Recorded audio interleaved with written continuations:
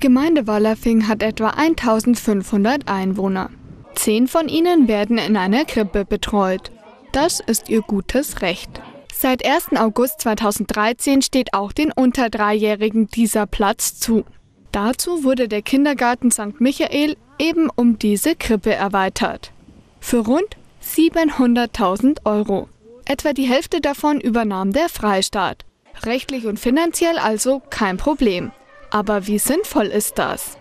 Wir haben vor fünf oder sechs Jahren was äh, angefangen, uns da ein bisschen zu spezialisieren, dass wir Kinder unter drei Jahren aufnehmen, aber leider nur zwei Tage in der Woche und die haben wir ausgelagert gehabt vormittags im Turnraum. Wir haben unseren Turnraum so äh, vorbereitet, dass ein Gruppenraum war und äh, haben geschaut, dass wir da schon und es wurde gut angenommen.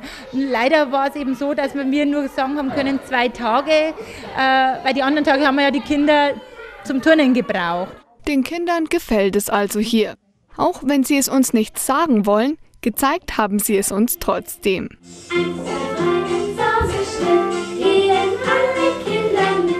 Die Krippe wurde übrigens innerhalb von einem Jahr, sozusagen im Sauseschritt, gebaut.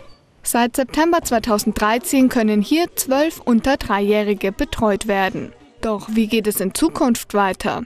Für das nächste Jahr haben wir zwei Anmeldungen. Das heißt, es, äh, drei Kinder wechseln äh, in den Kindergarten. Für nächstes Jahr haben wir wieder acht Kinder in der Krippe. Bis September 2014 kann sich allerdings noch einiges ändern. Vier bis fünf Kinder sollten es auf jeden Fall sein. Auch wenn es hier keine Wartelisten gibt, zu wenige Anmeldungen haben Nachteile. Die Stundenzahlen gehen ab. Wir können das Personal nicht so äh, einstellen von den Stundenanzahlen. Es sind dann wieder Kürzungen vom Personal notwendig, wenn die Gruppen nicht voll sind.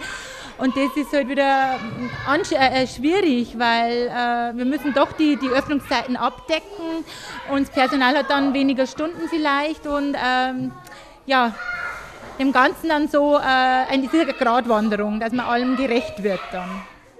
Vielleicht steigt die Kinderrate in Wallerfing demnächst wieder an. Erst in der vergangenen Sitzung hat der Gemeinderat Aufträge für Erschließungsarbeiten vergeben. Und zwar für ein neues Baugebiet in unmittelbarer Nähe zum Kindergarten.